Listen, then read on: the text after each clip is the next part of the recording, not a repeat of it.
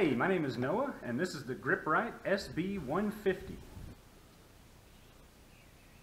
These nail guns are sometimes called metal connector nailers. The tip of the nail sticks out just enough so you can index it on the hole of the hanger like this.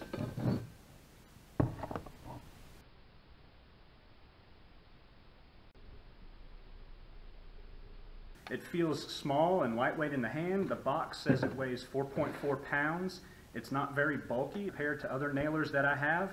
It does come with a nice pocket hook, and I, I, really like that feature in the nail gun so that you can just hang it there while you're getting stuff set up to nail.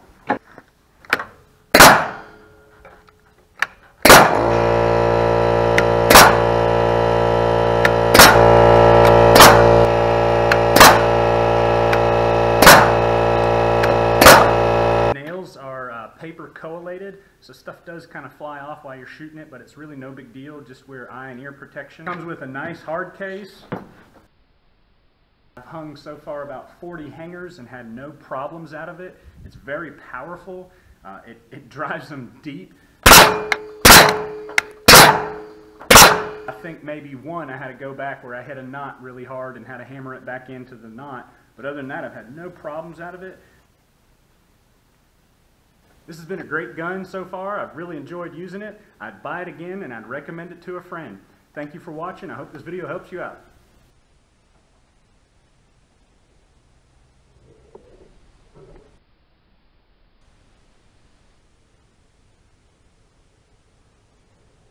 If you do decide to get one of these and notice that the nail magazine is loose like this, I believe it's a design feature.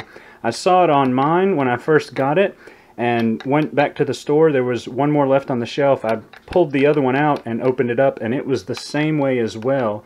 I don't think that they would both come loose like that, and there's really no room to tighten that nut, so it must be some sort of a design feature. Good luck, and thanks for watching.